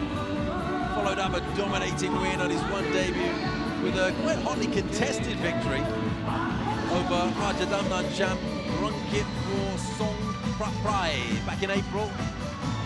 Here to just continue that ride. Should be a super contest this one, Mitch. Yeah, and he is perfectly named the kicking machine because that's what he does. And Rui Botelho says he's got to stay away from that right kick, so he wants to close the distance and throw those hands because Superlek, once he starts letting go with that right side kick, it is a thing of beauty. And that's sometimes the only weapon he chooses to throw is he just hammers the legs, the body, and the head of his opponents with that beautifully timed right kick. And Superlek is in his prime. He is one of the greats currently right now competing in the stadiums around Muay- in- around Thailand. And he's just you know, really excited to be here in One Super Series because he knows this is his launching pad to the global superstardom here in One Championship and being part of One Super Series. He actually told me he was unimpressed with his last victory here in One Super Series. He wants to showcase he's got more weapons. He can do more than just win on points. He can knock people out, Steve. That's what he wants to show here tonight. Always aiming for bigger and better. What an opportunity for him in front of his adoring home fans here. Big football fan, supports Buriram United, very well supported club in this part of the world. Also supports Chelsea when he watches football from England.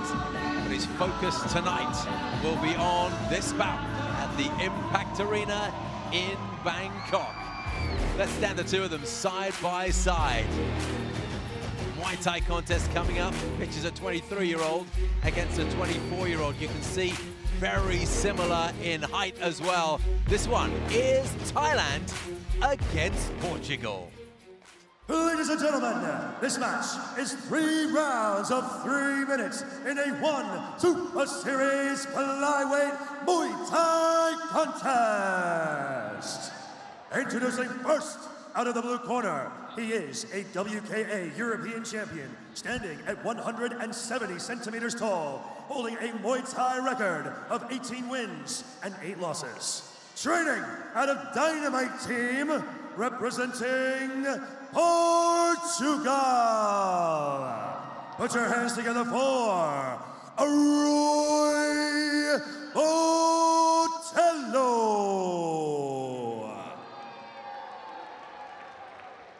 And now, introducing his opponent out of the red corner. He is a two-time Lumpini Stadium Muay Thai World Champion, standing at 171 centimeters tall, holding a Muay Thai record of 120 wins and 28 losses. Training out of Kiatmoo9, representing Thailand. He is Superlek, the kicking machine, Kiatmoo9.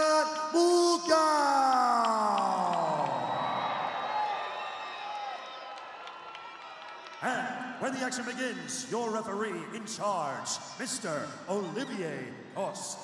We're going for three rounds, Muay Thai. I want a clear, fair fight. When I ask you to break, I want a clear break. Touch gloves. Back your corner. How about that? Stamp Fairtex, kickboxing back, back. world champion, Muay Thai world champion, enjoying the action here without the pressure. Circle side, the Impact Arena Alright, in judge, Bangkok. judge, really look forward judge to seeing more Ready? of her. Ready? Now the focus is on these two. Big start from Superlek and the crowd are loving it. He has to be very careful, just or effortlessly just moved out of range of that kick. And again, really great economy of effort from Botelho. And he comes in range with a left and a right. Short punches. We'll have a blow there from Superlek. What a nice start, Mitch. Superlek is coming with a lot more heat than we've seen him start matches in the past. Oh, back punch! Overhand right, just as Botelho just tried to shorten the distance. It landed quite high up in the head, but it dropped him instantly. Three knockdowns in one round equals a technical knockout, so watch for that with 2.13 left in this opener. See Superlek starting to bring the heat. Early corner. Botelho, this is what Botelho's got to do. He's got to make it dirty. He can't stand at range, especially kicking range. With Superlek. Referee Olivier Coste just making sure that that clinch doesn't go on for too long. It's all action here. Right hand from Botelho was a nice one as Superlek was coming in. Flying knee! Huge noise from the crowd behind me here in Bangkok. Just grabbed that colossal right hand, Botelho ducked underneath it. See how well Superlek is using the, the fence. He's able to back Botelho up because Botelho's not circling out. He can't allow Superlek to corner him like this. Botelho holding for all he can there. Superlek unleashing a great effort and straight back into it as Olivier Coste brings them together. Right hand, nice short punch from Superlek. Then he's parrying down the lead hand. Botelho with his lead hand, he's swapping down the hand. That's what's enabling him to circle around and land that big right hand. This is so intense from Superlek. You get the feeling that Botelho is just being a little bit reactionary, just looking for what's going to happen and see if he can counter. It's certainly Superlek that is leading the action. Just has a little brush of his right eye there to see if he's been marked. Nice, the right hand landed by Botelho. That's what he needs more of. He needs to close that distance and throw those hands. Superlek comes back with a his own. These two are just not holding back. 35 seconds left in this opening round. and It's been wonderful action. Looking for the spinning back elbow there, charging in with the, the kick to the head. Back in the center of the circle now. 24 seconds left. The right hand from Superlek comes back, but his leg is held, and they go down to the mat. And Superlek landed quite heavily. Botelho landed on top of him. So a little bit of a warning there from Olivier Coste. 10 seconds left in this opening round. It's been all action. Super stuff. Good job by Botelho to get that leg up and check that right kick. That's what he needs more of. But he's also got to be careful about that right hand landed by Superlek. He's so preoccupied with the kicks that he's letting those right hands land. Look at that beautiful push kick landed by Superlek, then he fakes it. He lands the push kick, lifts up the knee, fakes the push kick, and then comes over the top, and that was an elbow that landed. Look at that, beautiful, done. Look at that, oh, wow, just superb. Landed the push kick, fakes, then he fakes off the push kick again. Botelho gets the reaction, and then Superlek comes over the top and lands a beautiful downward elbow. And that's what dropped Botelho. Now, at one stage in that round, Superlek was just dabbing at his right eye. He suspected that he might have been marked. I think you can clearly see that he hasn't been, but they are treating it. They're concerned that there might be a bit of a swelling developing there, so applying ice liberally. Can't wait for the action back, to back, resume. back What an action-packed Guys, back your first corner, round that corner. was. Back your corner, back your corner. These Read, little gloves can change things very fast, Right, especially ready? for these Muay Thai athletes who are used to competing in big gloves. Now they have to adjust their style of defense to complement the little gloves.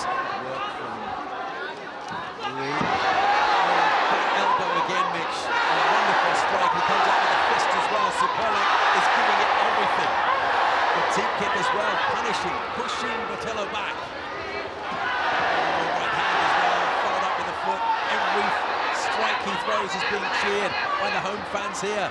Botelho battling not only his opponent, but the entire Impact Arena, seemingly. Botelho just looking over his shoulder, trying to take a little bit of advice from his corner men.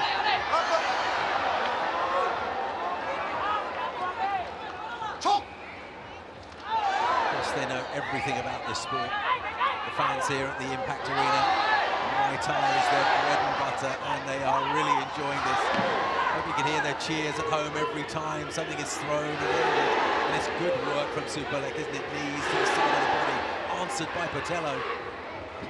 Botelho's showing some good eyes. He's been able to evade a lot of the big kicks thrown by Superlek, and then Superlek actually starts kicking at the hip.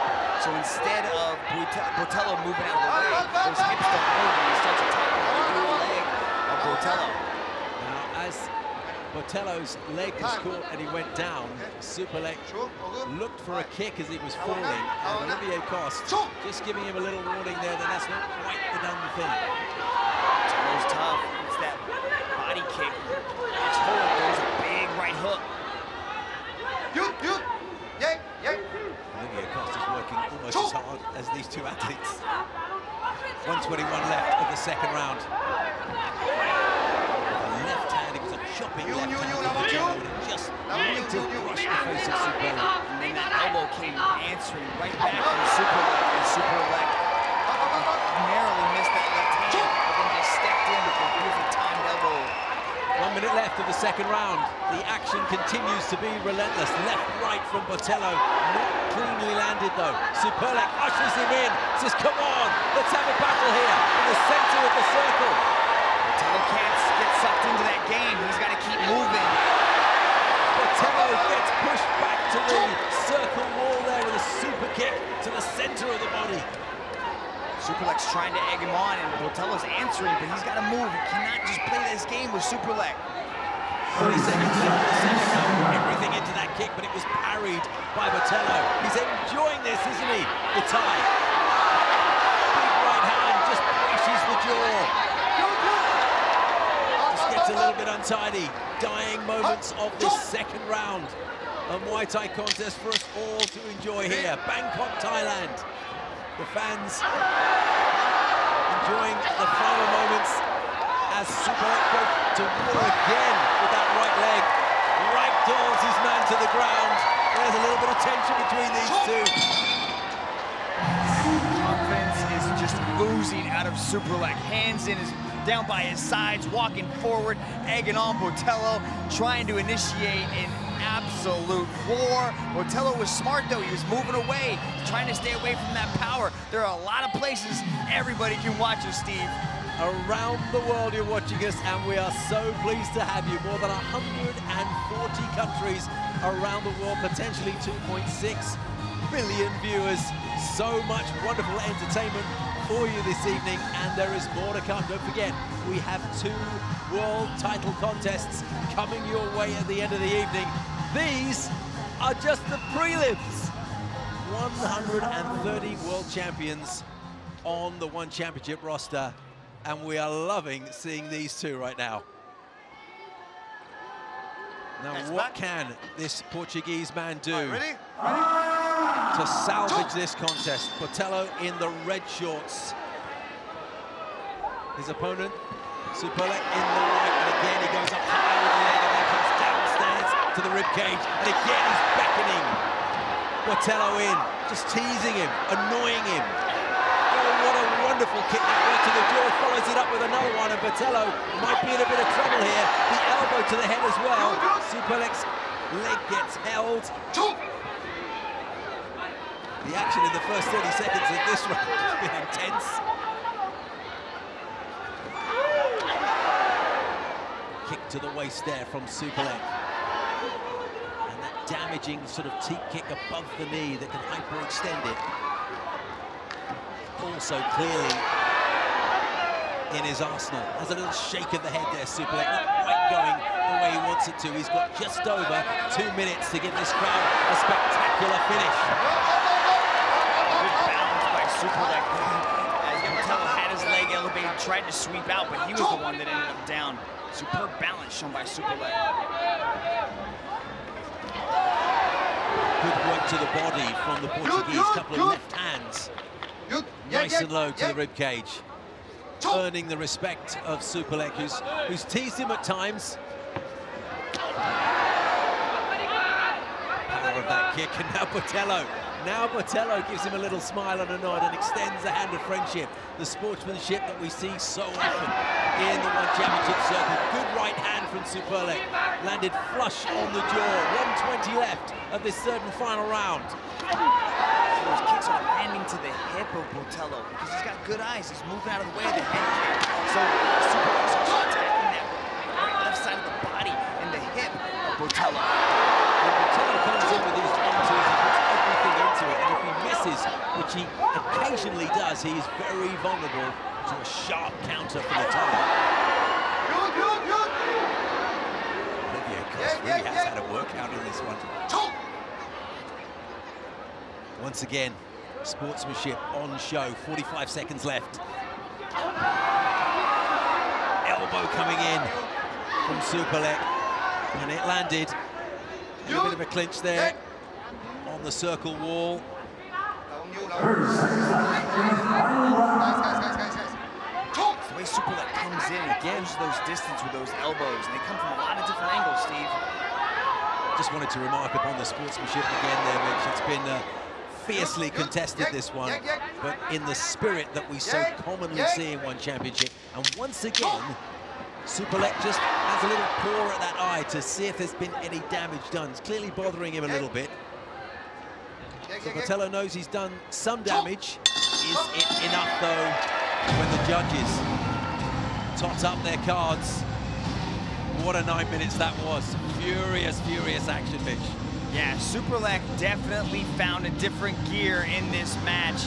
He wanted to put on a show, and that he did. Look at the way he changes stances, continuously marching forward, throwing the push kicks, goes to the body, then he goes up top by switching stances, and then going up. Watch this. Changes stances, and then boom, goes right to the chin. Unbelievable Botelho. Beautiful, just speed and timing and accuracy shown by Superlek. And he pretty much showed us why he's one of the very best in the world, Steve.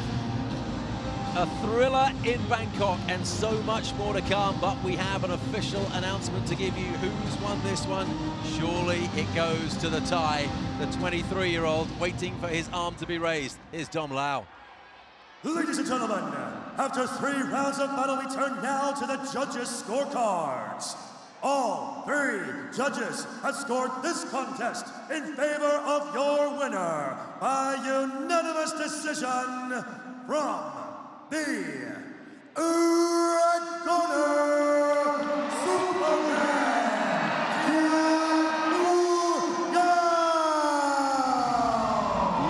another win for a 23-year-old who has amassed 150 Muay Thai contests in his young life so far. And this one, well, very likely to be among the most memorable.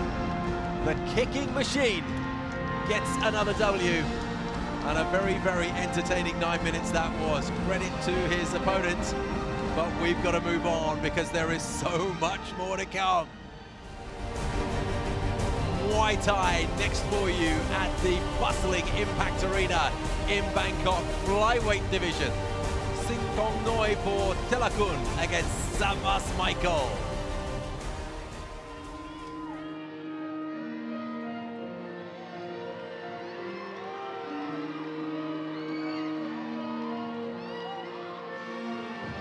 Representing Cyprus. Savvas, the babyface killer, Michael. From Limassol in Cyprus and now basing himself right here in Bangkok, Thailand, his second home, and you can see the fans are greeting him, he's greeting the fans. When he was 12, actually, he flew to Thailand to compete in an amateur Muay Thai World Championships.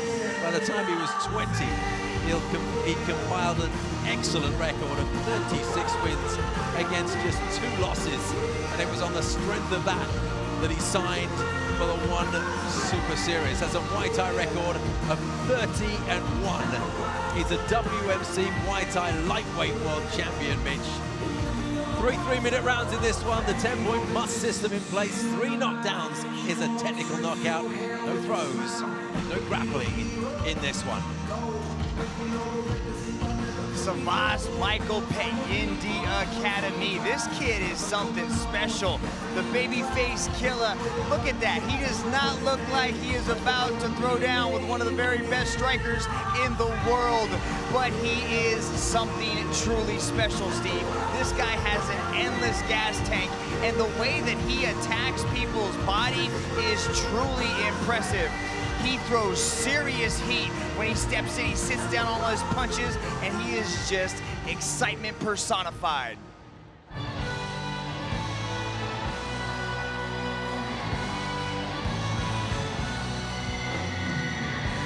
Representing Thailand, Sing Tong Noi,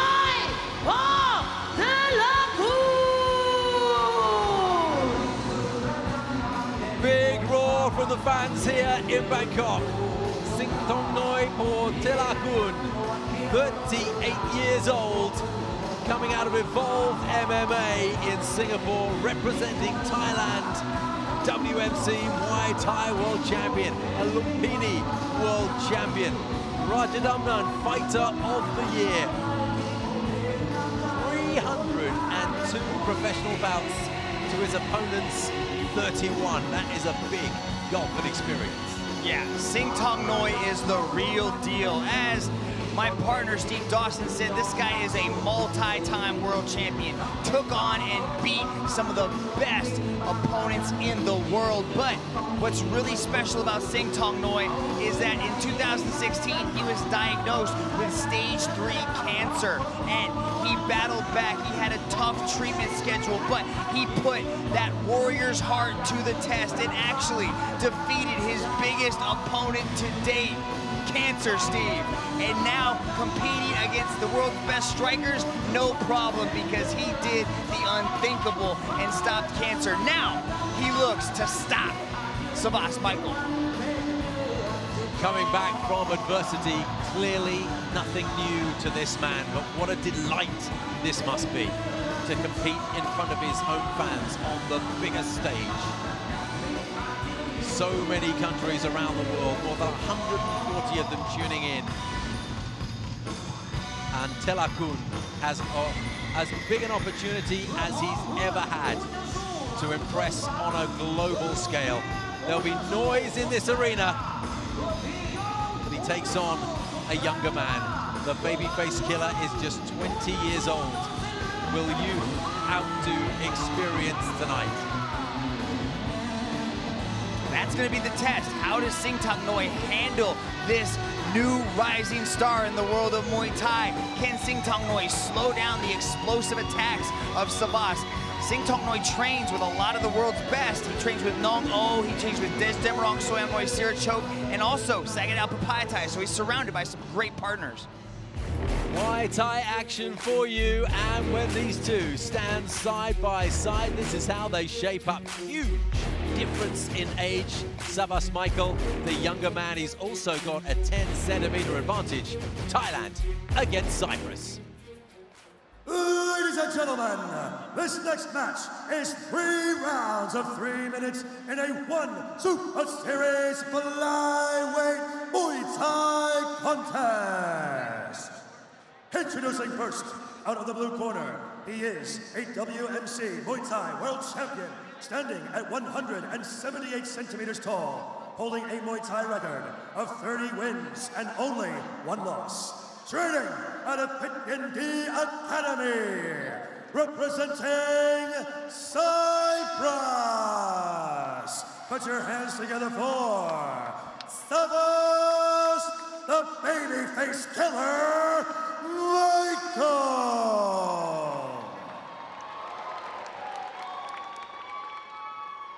And now, introducing his opponent out of the red corner, he is a Lumpini and WMC Muay Thai World Champion, standing at 168 centimeters tall, holding a Muay Thai record of 222 wins and 80 losses. Training out of Evolve MMA, representing Thailand.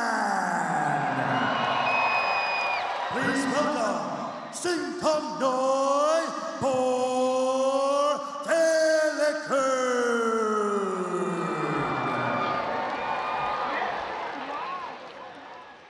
And when the action begins, your referee in charge, Mr. Atsushi Onari.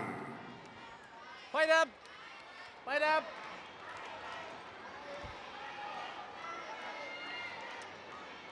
Submitted okay? Yes. It okay. Clinch okay. It's okay. Good fight? Okay. Chicken? Chance of Thailand. Thailand were ringing out behind me just a few moments ago. I'm not sure that Savvas Michael has stopped smiling. That's one kind of game face, I suppose, Mitch. It will soon get very serious. In his adopted home, Savvas Michael is seemingly taking on the entire nation. Nice straight jab, knocking back the head of his opponent. Michael's got a 10 centimeter reach advantage, and he's starting to touch up Sing Tong over that jab. It's already come to the fore, hasn't it? That jab has landed beautifully twice now. Significantly taller, 10 centimeters officially, as you say. Sing Tong though, just kind of crouches slightly to accentuate that high difference. So experienced though, takes a good left hand to the gut there. Dug that one in, Michael. He looks really composed. Yes. 30 matches at 20 years old. He's very relaxed in there. You can't say he's not relaxed. Plants his feet, moves as he wants to effortlessly. But at the moment, he is on the end of some rangy, rangy punches. That left hand came in, a nice little long uppercut. And the counter there with the left and right did not land, not cleanly at least, but a sign perhaps of things to come. A lot of chatter about Savvas Michael. He's highly ranked. He's regarded as being one of the top strikers in the stadium circuit right now. I believe he's ranked in the top 10 in the 130-pound division at Rajadamnern Stadium, which is a feat all unto its own. Good hand combination throw by Sing Tong Noi there as he clinches up against the fence. Yeah, left and right was strong once he gets his range. Throws Sing Tong Noi to the ground, pops straight back up. That long left hand is already scoring points And a tilt. Doesn't even seemingly need to extend that shoulder. It just throws that arm out, Rich, and it lands in there. Big knee to the chin, brought that up expertly. Yeah, there's a noticeable speed differential between these two. I love how he's attacking the body there. Very impressed with Michael so far. Final 52 seconds of this opening round. You can slowly start taking the wind out of your sails by throwing those body shots. They come from such different angles because of his length. Just waiting though, aren't you, for the experience of Sing Tong Noi to potentially turn this one around. Michael at the moment showing the better work. And a nice forearm there, just clipping his opponent up there on the forehead. Throws in a left and a right. Good hands Michael's got. Very patient, very calm, relaxed with experience well beyond his years. He's showcasing right now Sing Tong has 10 times more experience. Just let the weight of that hit sink in. The way he's throwing those punches without sort of really engaging the shoulder perhaps takes a little bit away in terms of power, but the speed really makes up for it. And wonderful respect from the two of them there as that opening round comes to a close. What an intriguing three minutes that was. And especially the way he's throwing the shots, he's able to land and create openings, and then he's starting to drop the elbow down as well. And it comes from, you know, it comes from a downward angle, so you can actually see the way it's clipping, you know, Sing Tong Noi. So that was that round. That was that looked to be like a 10-9 round. Now I'm not a judge, but that unofficially, of course, nice leg kick landed by Sing Tong Noi, and Savvas Michael didn't even notice it. Getting a nice brush down in their corner. Both of them taking to their stool. Michael facing away from his opponent, looking outside of the cage, which is not what you usually see. That way he can listen to his cornerman a little bit more directly. You can see that two cornermen inside the circle were distributed massage techniques, while there was another cornerman outside advice was who coming was from outside. hollering the advice. Well, let's see if that advice turns into something even more positive than what looked like his first round, because that really did seem like a good opener for the Cypriot. You can see the Petchyindee Academy coach talking about elbows. He wants more elbows and body shots to come from Savvas Michael. Beautiful one-two combination. Left, right, and he sends him back at him. A knee to the head as well. Sing Tong Noi seems entirely unaffected by this barrage of abuse that he's getting from Cypriot. He's tough. He's tough. I like the way he's catching those legs. He's catching the push kicks, and then as he lets go of it, he attacks the body. Beautifully done by Savvas Michael. This is such a good contest. Michael showing excellent work. Sing Tong Noi really seeming oblivious to it and solid and immediately coming back with solid punches too. Man, that jab is lightning fast. Not breathing hard at all, Michael seems to be very well attuned to the pace of this one. One minute down in the second round. Really enjoying this, as are the crowd behind me. Impact Arena in Bangkok, Thailand. Sing Tong needs to change the direction of this match. He needs to turn things around. He can't sit there and play this game and standing at this, this range is right into plays right into Savvas's playbook. There's these two and three punch combinations from way back. Good length from these punches. Making it difficult for Sing Tong to counter, but he does get inside, doesn't he? He certainly is landing the tie. But his shots have no effect on Savvas. While you know, Michael's Oh, shots- solid oh, mix. Beautiful Really uppercut hook. Wonderful combination. Uppercut hook, as you said. Really, really solid, but Sing Tong Noi, it's as if they never landed. Sing Tong is tough. He's just standing right in front of Michael. Look at this. He's gonna go to the body. Oh, beautiful sweep. Changed hands, caught it with the right, switched to the left, swept out the leg.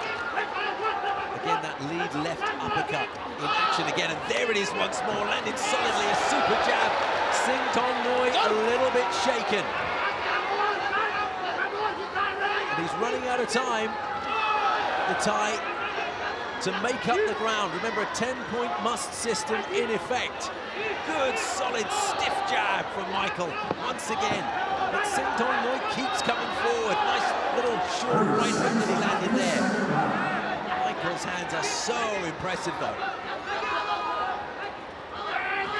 The fact that he just doesn't put any shoulder into that right hand, it's, it's almost effortless.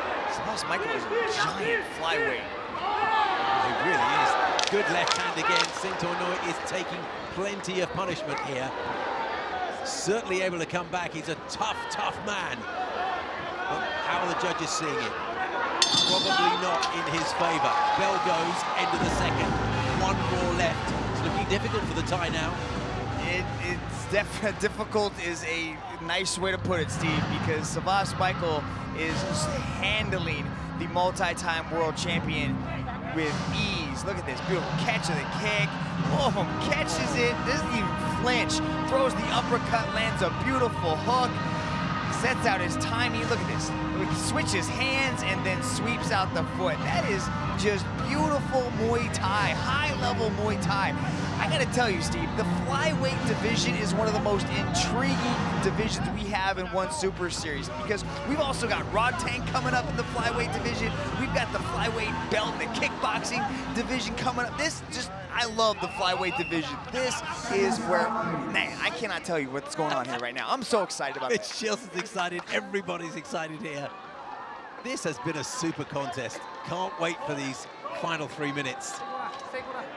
But you get the feeling that the home crowd realise their man is up against it. He needs to do something special in this final round. The traditional show of honour and respect before they engage.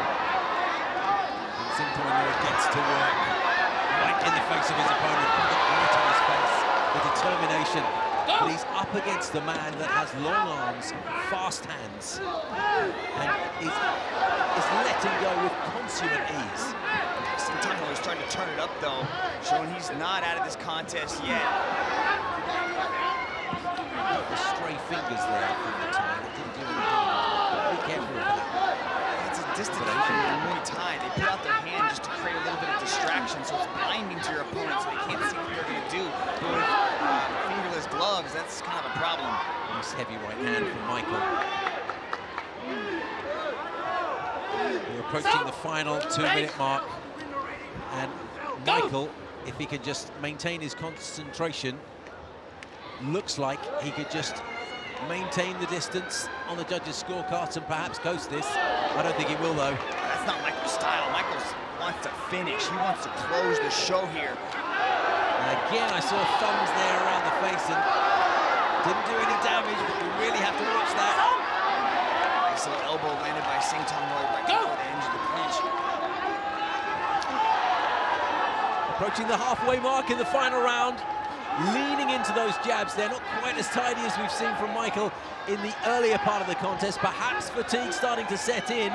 Is this Sing Tong Noi's moment? Eats a big right hand. Grabs hold of a leg.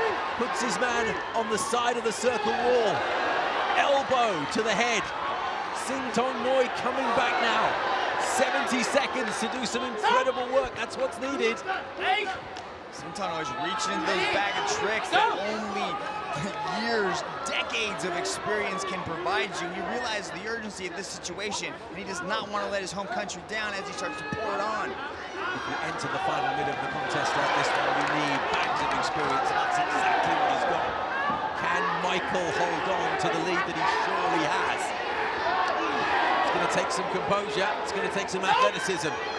Sometimes he needs to drop Michael at this point. If he can get a standing eight count, we might be able to even things up. Now, we don't have draws here in one championship, so gotta finish. Inside the final 30 seconds, the hint of an Ali shuffle from Michael. A little bit of, oh, the swooping leg. The final embarrassment, is it for Sing Tong Noi? Beautiful timing, right as Sing Tong Noi went to check. Nice right swept hand out from him, leg. Showing that he's still got some danger there, but a right and a left from the Cypriot. And surely that now is the icing on the cake. Time is running out. It's never over until it's over, but it's over now. That third round was pretty close, though. Look at this moment of honor displayed by both of these Super Series athletes, two of the very best in the world, showing that respect.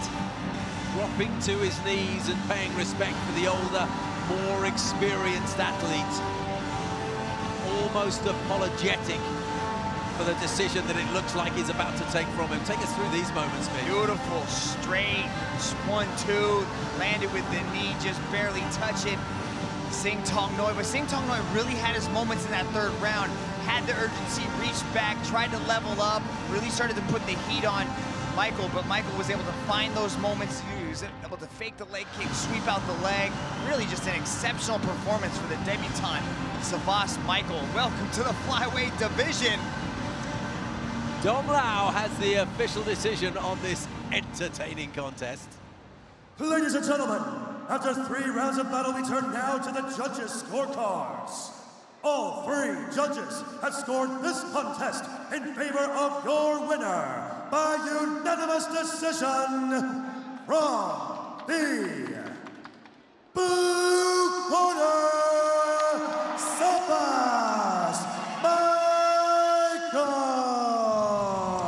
Savvas Michael with a big win. It's his adopted home here, and he'll be delighted to have achieved this in front of fans who really appreciate the work that he put together. And how about that respect? It's far from rare in the One Championship circle. We see it every night, multiple times, and a big smile.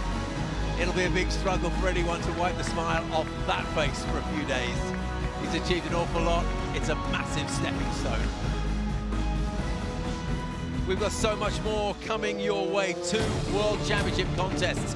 A flyweight kickboxing World Championship. Pet Dam against Mahmoudi. And our main event of the evening is the Muay Thai Bantamweight World Championship. Nong O against Suzuki. That is coming your way live and exclusively so from the Impact Arena in Bangkok, Thailand.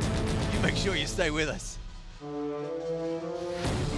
Warriors of Light here. The fans here have their blue lights. They're waving them furiously. They know it's a big, big night. But it's not just the live fans here in Bangkok. You guys around the world tuning in on your live streams and your television set. It is great to have you with us. So much more to come. Five bouts on our main card in your immediate future. And then we head to the two big ones.